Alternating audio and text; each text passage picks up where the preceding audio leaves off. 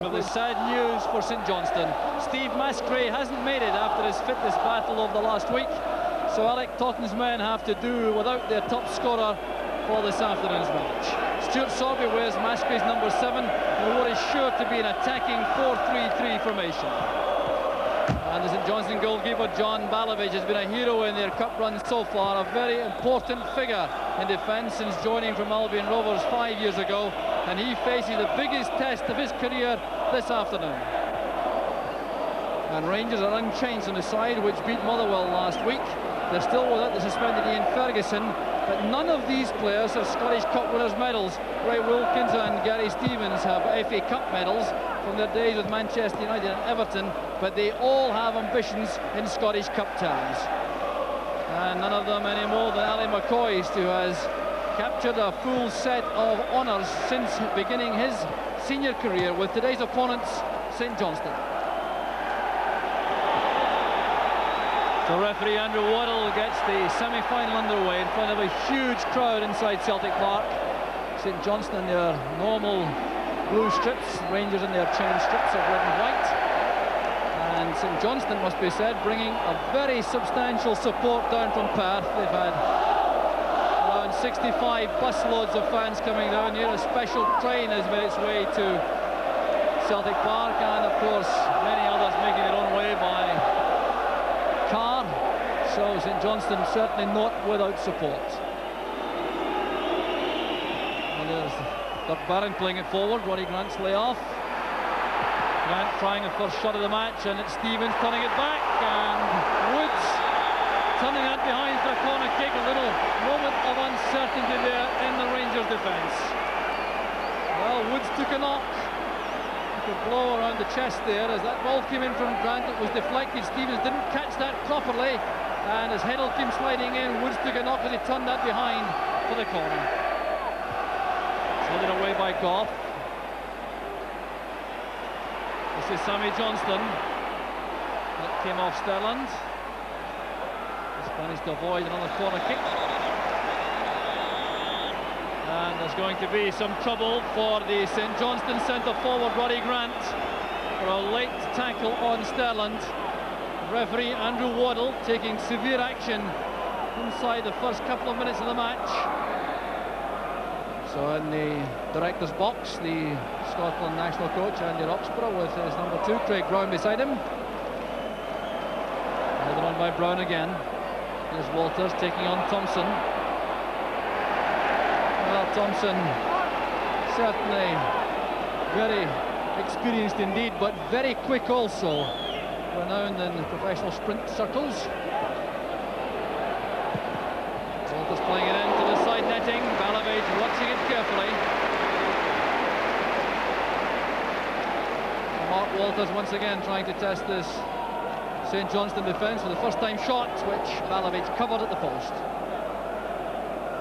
You have to feel that the Saints manager, Alec Totten, must be very happy with the way things have gone early in the match. St Johnstone have certainly carried the match to Rangers early on. He did promise an attacking policy this afternoon, and that's certainly being borne out.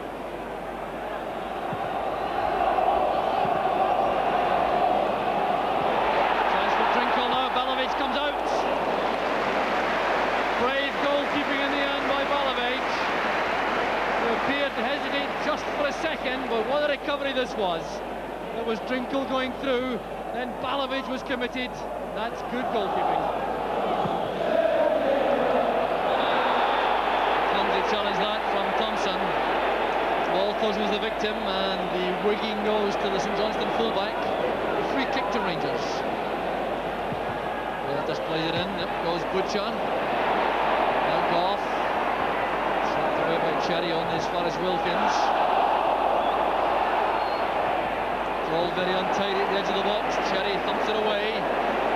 Everyone inside the St Johnstone half now, except Chris Woods. Here's Walters. Delightful control. Nick Victor takes it to safety, but it's collected by Brown. This is Wilkins. Now Munro. Good shot to Stevens.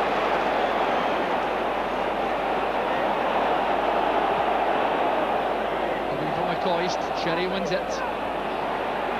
Good running by Stevens once again.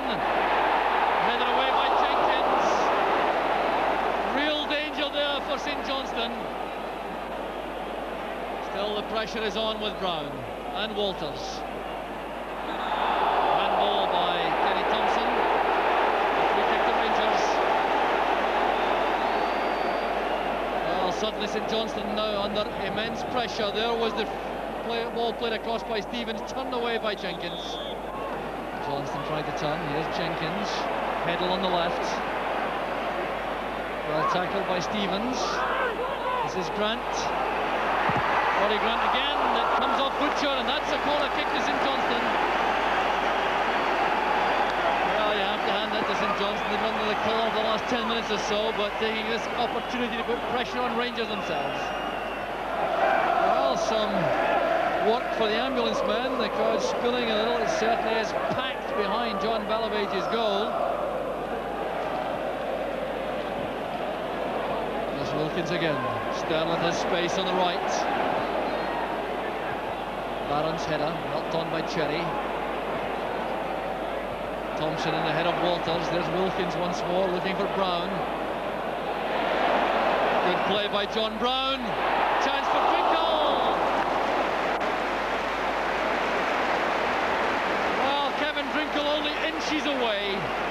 This is brilliant play from John Brown. Look at the way he beats Tommy Coyle. Sprinting for the byline, playing it across the six-yard box, and Drinkell couldn't reach it.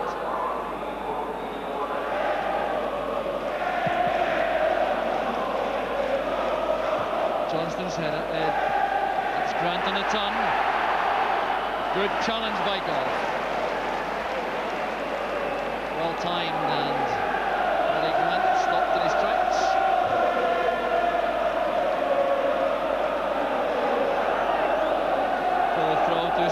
Johnstone. There's Don McVicar, the fullback.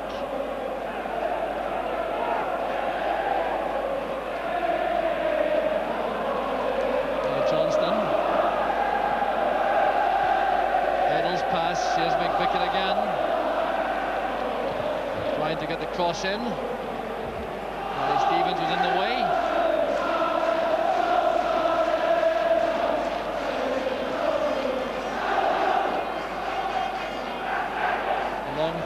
The danger area. Woods is in trouble. There's Stuart Munro coming around the back. Good play by the fullback. Look at the problem caused by this long throw. A fumble, in fact, by Woods, and Stuart Munro reacted very quickly indeed. Very uncharacteristic that from Woods. There's Don McVicar again. Right into the danger area. Butcher wins it. McVicar again. Oh, that'll be disappointing for the St Johnstone skipper, slicing that behind for the goal kick.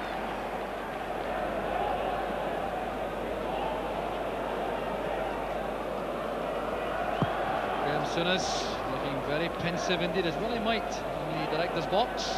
Things not going easily for Rangers at the moment. Balance clearance not too decisive, collected by Drinkell. This is Brown.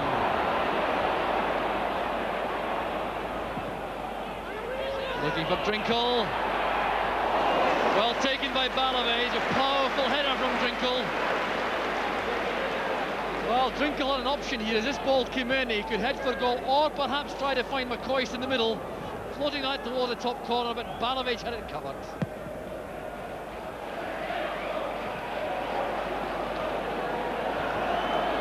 It's turned out by Sterland.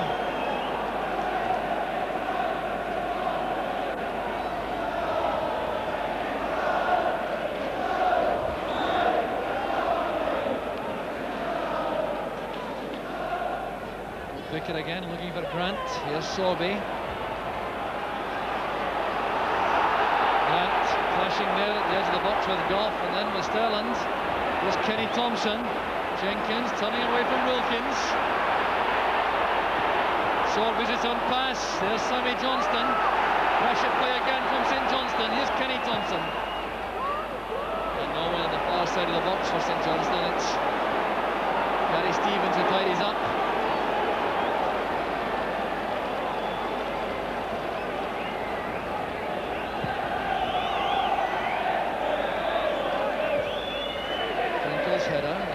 Barron.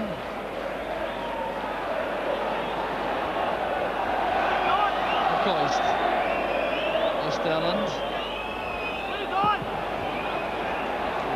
Clearance goes for the Rangers throw.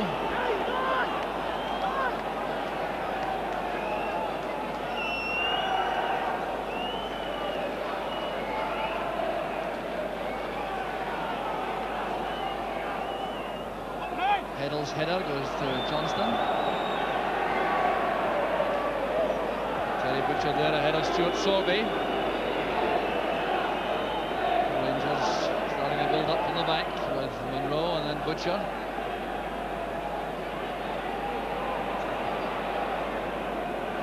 There's Gough.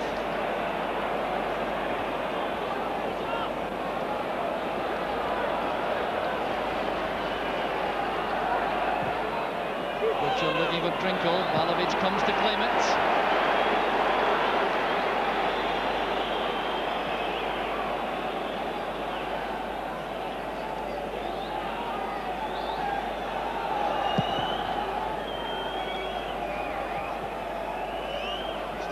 With no option but to play it back to Woods.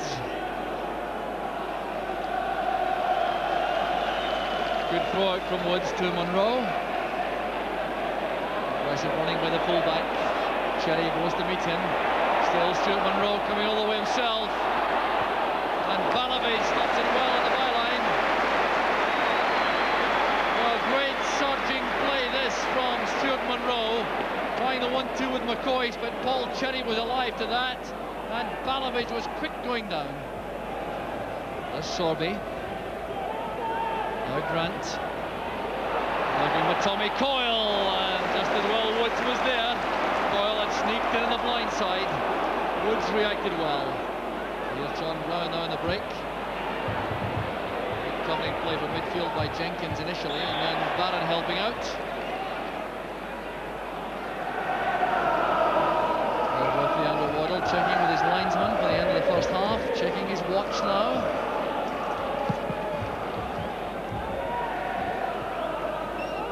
On by Johnston, giving the throw to Rangers.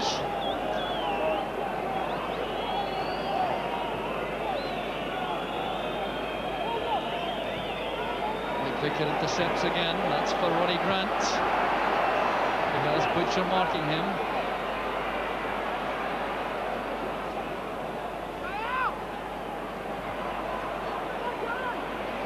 There's Gary Stevens with the clearance. And McCoist. Kenny Thompson steps in rapidly for St Johnstone. They've given their former player, Ally McCoist, no space at all this afternoon.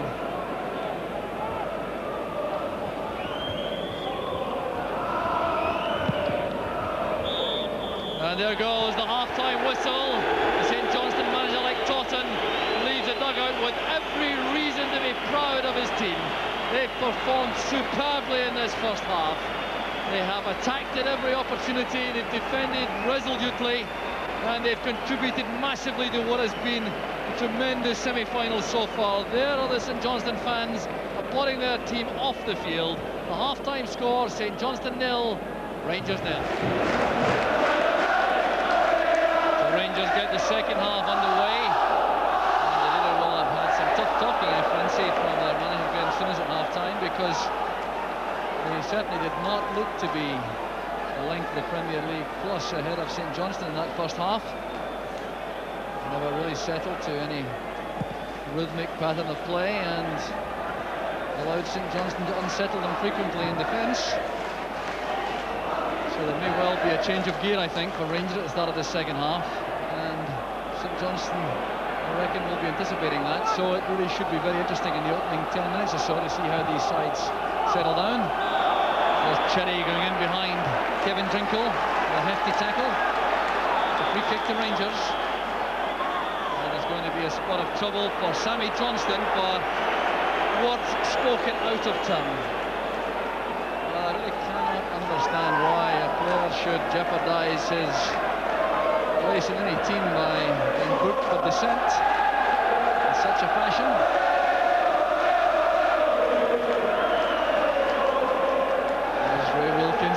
Kick. goes Walters. It's carefully watched over the top by Balavage. So crowded penalty area, but Mark Walters sneaked in there to get the header towards Balavage, but it was a couple of feet too high.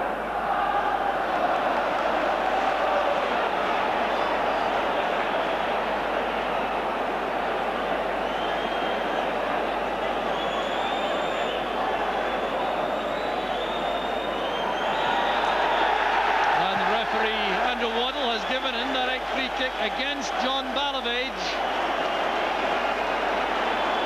For the time taken in possession inside his box. He was watching that very carefully indeed. Balavage clearly upset. An explanation given to the St Johnstone defenders by referee Waddell. Now here's a great opportunity for Rangers. Referee insisting that the 10-yard rule is obeyed. Will be indirect inside the box. And John Balavage has been very much a hero so far for St Johnstone. We're very anxious to see this over. There's Sterland shot. It's blocked. There's Munro. Butcher still forward. Here's Roddy Grant running into Munro. And it's away for a goal kick to St Johnstone and a great deal of relief there for John Balavage in the St Johnstone goal.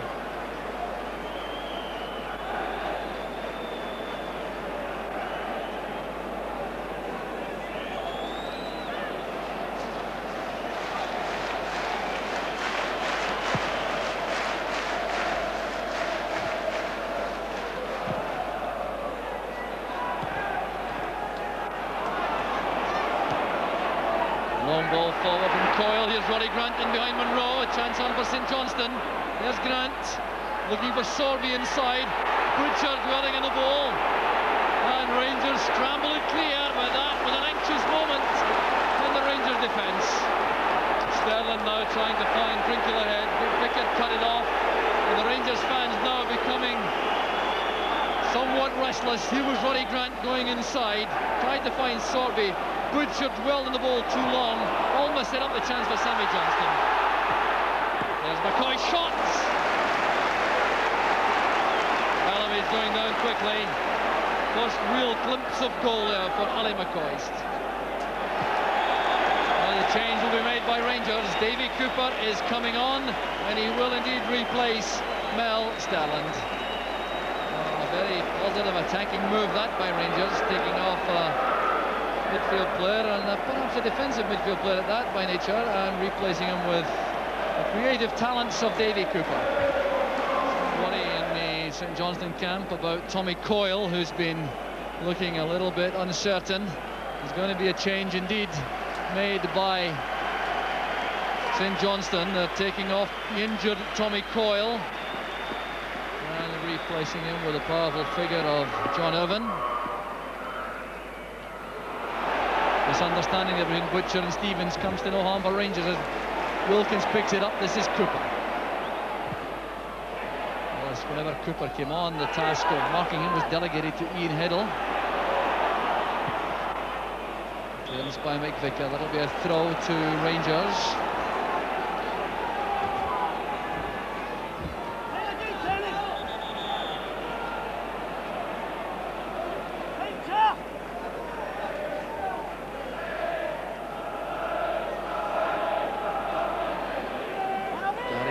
throw, helped on by Drinkell! And John Brown's header goes into what a dangerous player he is, Brown, coming from his midfield position with such power and pace. There he was with a header, Balavage at full stretch, and what a relief man he was to see that hit the side netting.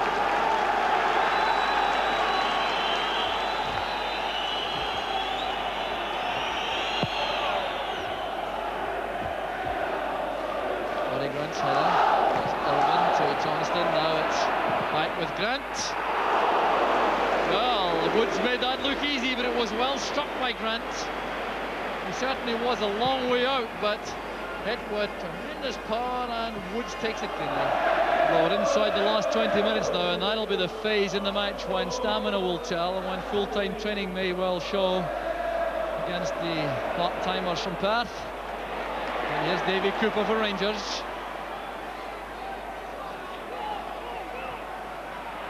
Oh, that's good defensive play by Cherry. Put under pressure though by Cooper. Wilkins plays it wide for Stevens.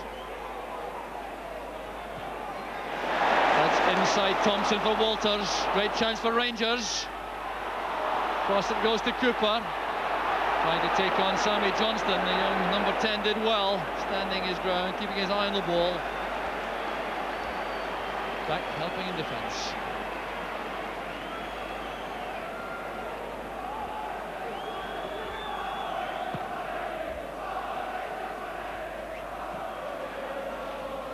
goes Gough.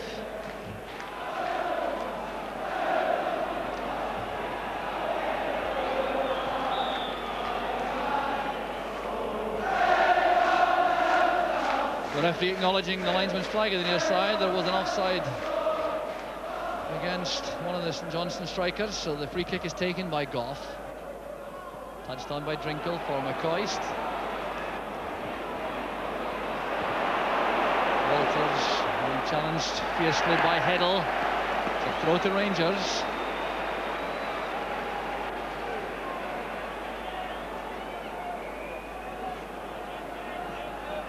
Oh, good play by Walters. Tried to whip across an out swinger, but it was blocked. And it's a throw again to Rangers with Gary Stevens lining up the long one. Butcher goes forward. Up goes Butcher. Well, lots of power into that, but too much height. Look at the way he attacks this ball in the air, though. Very powerful header under pressure.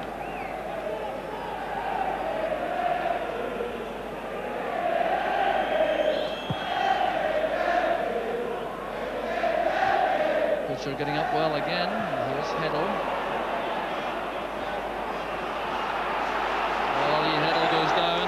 Challenge was by Walters. There's Wilkins to Walters. Grant Jenkins trying to get back to make the tackle. Breaks in towards Drinkell. Barron is with him, and that'll be a corner kick to Rangers. The corner kick is taken by Davy Cooper. Pulled away by Thompson. Headland ball straight away. That's Stevens. Cooper again.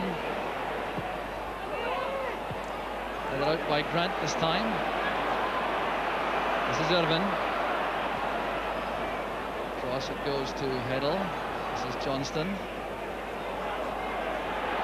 Wilkins collects in midfield for Rangers. Calmly picks out John Brown on the near side. Now Walters.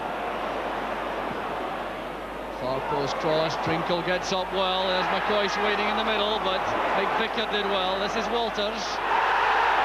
And the referee waves aside, appeals for a penalty kick.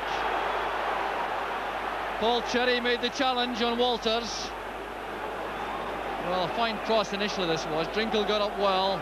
McCoist looking for the acrobatic effort. McVicar touched it on.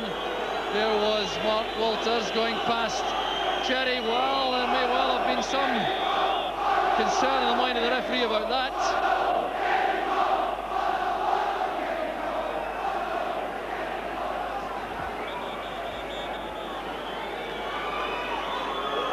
So St Johnstone will make their second substitution. They're taking off Ian Heddle, who's clearly struggling badly with that leg injury.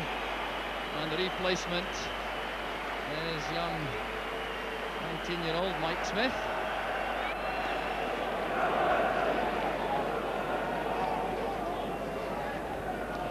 Goal header collected by Smith. Stevens wins it back for Rangers. Through the middle it goes for McCoist. And superb goalkeeping by Balavage. Rangers players claiming that Balavage came out of his box. The referee looked across at his linesman who kept his flag down. John Irvin's head flick and turned back by Stevens. There's Chris Woods launching the long ball forward. Came off the head of Cherry. There's McCoist. The save made by Balavage, it's about the first clear chance of the match for Ali McCoist in injury time. Came off the head of Cherry. There was McCoist his left foot. And Balavage in just the right place. And the intense pressure from McCoist. Grant nodding it on there. Stevens covering Irvin. And there goes the final whistle. St Johnstone have forced a replay with an amazing performance here at Celtic Park. Celebrations begin in the St Johnstone camp. Their fans clearly delighted with what has been a superlative performance from the First Division side, who have battled with enormous credit right from the start. They've attacked whenever they could, they've defended in determined fashion, they've been a credit to the town, a credit to the club. And Rangers, on the other hand, never allowed to get going, never displayed the talents of which we know they're capable and they realise now if they were out before that going through to the Scottish Cup final is anything but a formality. And when these sides meet again on Tuesday night you can be sure it'll be a tremendous struggle once more. But for the St. Johnstone players it's a moment to savour. The day when they held the mighty Rangers in the Scottish Cup semi-final they go now to acclaim their fans and they really do deserve to enjoy this moment to the full.